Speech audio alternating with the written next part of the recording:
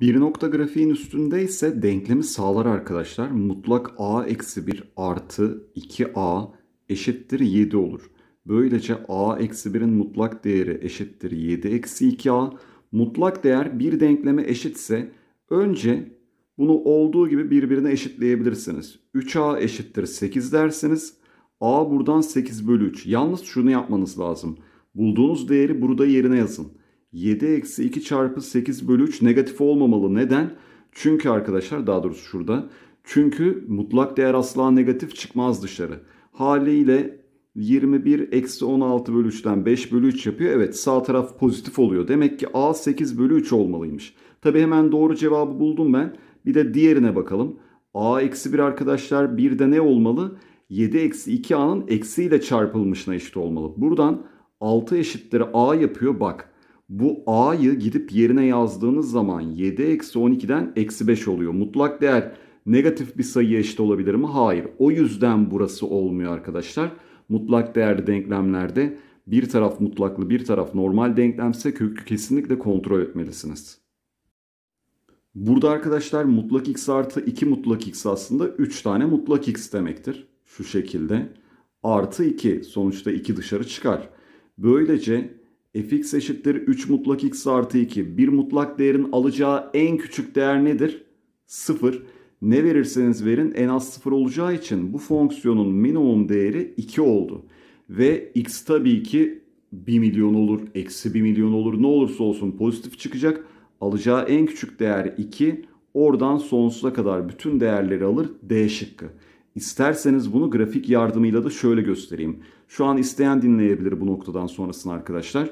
3 mutlak x'in grafiğini çizeceğim size. Normalde mutlak x'in grafiği arkadaşlar şudur. y eşittir x'i çizersiniz. Sonra mutlak olduğu için şu aşağıda kalan kısmı yukarı katlarsınız. 3 mutlak x olursa bu grafik daha dar bir grafik olur böyle. Ama yine orijinden geçer bu şekilde. Bir de siz bunu yukarı 2 birim attığınız zaman grafik bir V harfine döner. Hakikaten bakın 2'den itibaren değerler alır. Bu şekilde grafik yardımıyla da ikinci bir çözüm olmuş olsun.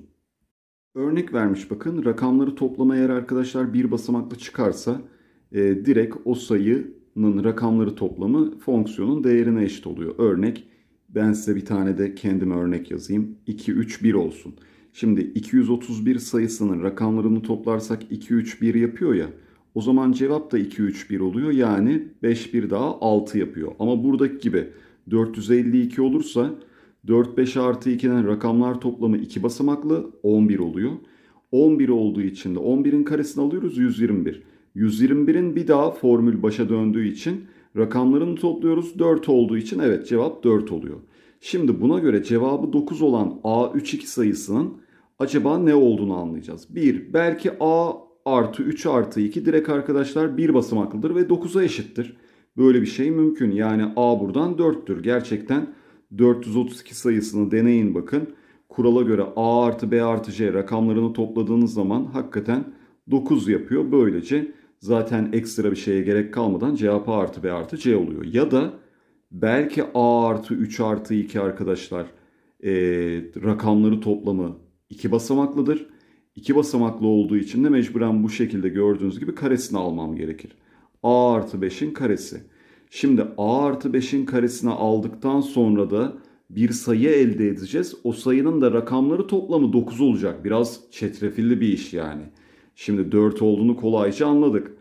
Burada da ne düşünmem lazım? Öyle bir sayı bulmalıyım ki arkadaşlar bunun rakamları toplamı sonra 9 olmalı. Mesela neyin karesinin rakamları toplamı arkadaşlar? 9 örnek 81. 81 arkadaşlar rakamları toplamı 9 olan bir sayıdır. Ama 81 olması için A'ya 4 vermem lazım. Farklı rakam olmuyor gördüğünüz gibi. Bu arada toplayınca da 4 artı 5'ten 9 yapıyor. Bir basamaklı oluyor. Olmadı. Rakamları toplamı 9 olan başka hangi sayı var karesel bir sayı? 36 var ama o da olmaz. Çünkü o zaman A'ya 1 vermem gerekiyor. 1 verince de rakamlar toplamı arkadaşlar bir basamaklı oluyor. Bu yine uygun olmadı. Şimdi geriye ne kaldı? 144. Yani 7 verirsem 7 artı 5'ten arkadaşlar 12. 12'nin karesi 144. Topla rakamları 4, 4 daha 8, 1 daha 9 yapıyor. Yani a'nın bir değeri arkadaşlar 7'ymiş. Şimdi bulduk. Deminki değeri de 4'tü. Toplamda 11 oldu alacağı değerler. Biraz ters böyle pis bir soru. Bir fonksiyon fx eksi 1'den fx eksi 4'e dönüyorsa 3 azaltılmış bu şu demektir. 3 birim sağa gidiyor demektir. Yine aynı şekilde arkadaşlar artı 2'den artı 6'ya yükseldiği için 4 birimde yukarı gidiyor demektir. Bizden AB noktası istenmiş. O zaman üzerindeki bir A noktası şöyle bir AB koordinatı olsun tamam mı? 3 birim sağa giderse ne olur? A artı 3. 4 birim yukarı giderse B artı 4. İki nokta arasındaki uzaklık x2 eksi x1'in karesi yani A artı 3'ten A'yı çıkarırsak 3'ün karesi. Yine B artı 4'ten B'yi çıkaracağız. Ordinatların farkının karesi. O da 4'ün karesi oldu. Bunun karekökünü aldığımız zaman cevap 5 E şıkkı. Fonksiyonun grafiği çiziliyor. Grafik üzerinde apsisi tam sayı olan noktaların ordinatları toplamı 120 olduğuna göre A kaçtır demiş. Şimdi e, eksi 10 ile 10 aralığında arkadaşlar bir A grafiği çizeceğiz. Y eşittir A grafiği. Eksi 10 ile 1 arasındaysa. Şimdi eksi 10 şöyle bir de 1. Böyle bir Y eşittir A doğrusu olsun tamam mı?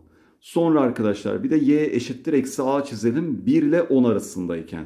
O da bakın böyle olacak gördüğünüz gibi. Eksi A, Y eşittir eksi A grafiği.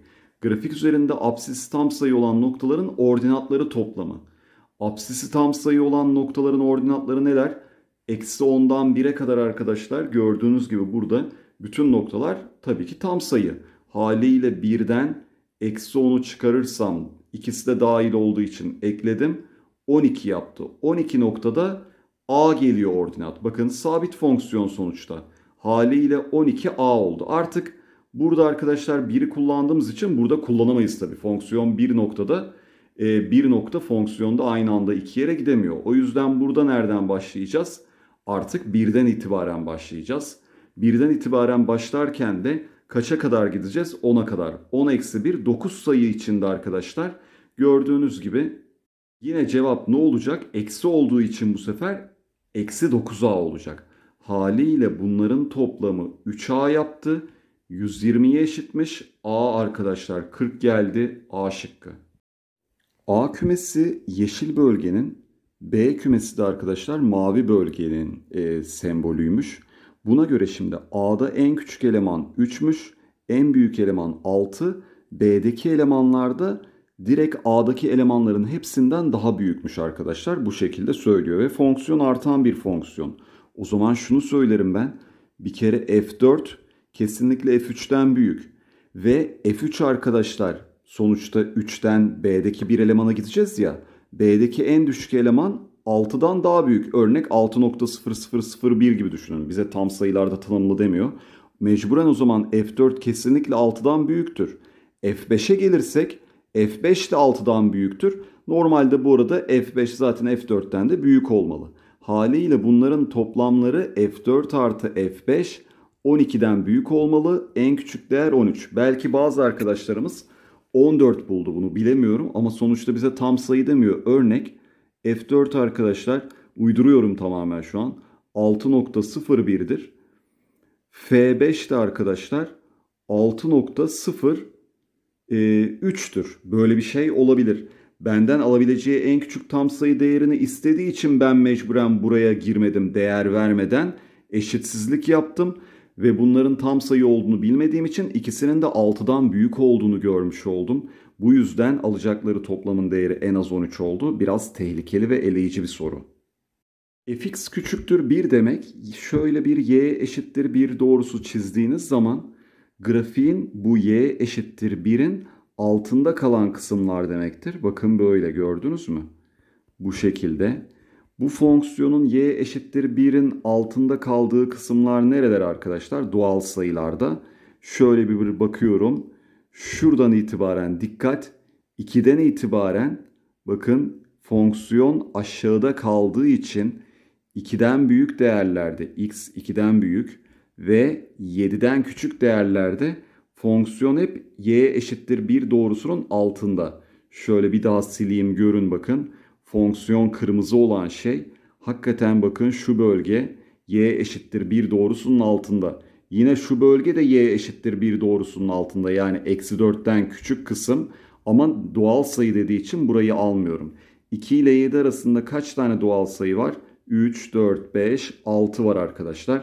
Bunların toplamı 11, 7 daha 18 oldu. D şıkkı. Nedense konu anlatımlarında es geçiliyor ama şunu söyleyeyim yorum olarak demek ki bekleniyor. Eksi 4 ve 4 olması lazım arkadaşlar. Burası tabii soru sizden onu bekliyor. Neden? Çünkü arkadaşlar çift fonksiyon ve tek fonksiyonda simetriklik vardır. Sonuç olarak siz belli bir aralıkta almalısınız ki bu aralıkta simetri olsun. Eksi 4 ile 4 arasında alırsanız böyle orijine göre simetrikse böyle eğer tek fonksiyonsa ya da işte y eksenine göre simetrikse böyle olur. Ama siz gidip bu aralığı 4 ile keyfinize göre belki hocam orası eksi 5'tir ne olacak derseniz grafik bakın şöyle yapayım size. Şu şekilde. Gördüğünüz gibi grafik simetrik olmayacaktır. Burası fazla olacaktır. Bundan dolayı eksi a ile a ya da açık aralıksa eksi a ile a aralığında tanımlıdır. Çift ve tek fonksiyonlar bu aklınızda bulunsun. Şimdi doğal sayılar kümesi olmak üzere fonksiyon çift fonksiyonmuş arkadaşlar. Haliyle o zaman ne olacak? f eksi a f a'ya eşit olduğu için f eksi 4 e, f 4'e eşit olacaktır. f eksi 3 f 3'e f eksi 2 f 2'ye f eksi 1 arkadaşlar f 1'e eşit olacaktır. Böylece bunlar birbirine eşit oluyor gördüğünüz gibi. Bir de f0'da normal o artık bir değere eşit. Onu bilmiyoruz. Şimdi eksi 4 ile 4 arasında demiş. Eksi 4 4 dahil değil sonuçta. O zaman hangilerini alacağız? Eksi 3 bu f0'da dahil olmak üzere. Toplam kaç görüntü oldu? 4. Bakın f0'ın bir görüntüsü, f eksi 1 f1'in bir görüntüsü, f eksi 2'nin 2'nin aynı görüntüsü var zaten. f eksi 3 3'ün aynı görüntüsü var. Toplamda 4 tane eleman oldu. A şıkkı arkadaşlar bence önemli bir soruydu. Bileşki fonksiyonda içeriği bilmiyorsanız ne yapmanız gerekiyor arkadaşlar? Dıştan içe doğru gitmeniz gerekiyor. Dolayısıyla burada şimdi sonucu 3 olan hangi fonksiyon var nasıl anlayacaksınız? Eğer çok fazla böyle doğruların eğrilerin olduğu geniş bir fonksiyonsa en mantıklısı y eşittir 3 doğrusunu çizmek. Böylece şunu anlarsınız. Bakın grafik iki noktada kesiyor.